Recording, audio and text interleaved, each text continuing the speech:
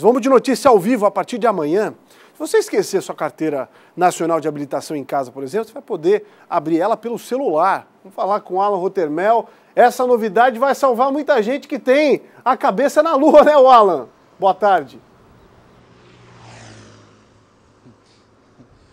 Boa tarde, Polito. Boa tarde a todos. Exatamente, Polito. Mais uma facilidade aí para quem costuma esquecer a carteira em casa na hora de sair.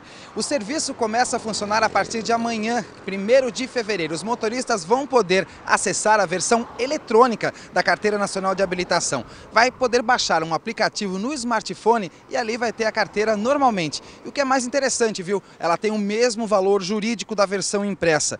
A adesão a essa carteira eletrônica ela é opcional, mas é preciso estar atento quem tiver interesse em baixar esse aplicativo e em ter essa carteira eletrônica, porque só as carteiras emitidas a partir de maio do ano passado é que podem ter a versão eletrônica, porque essas carteiras de maio para cá têm o QR Code, que é aquela espécie de código de leitura para que o aplicativo consiga então fazer essa leitura e baixá-la no smartphone.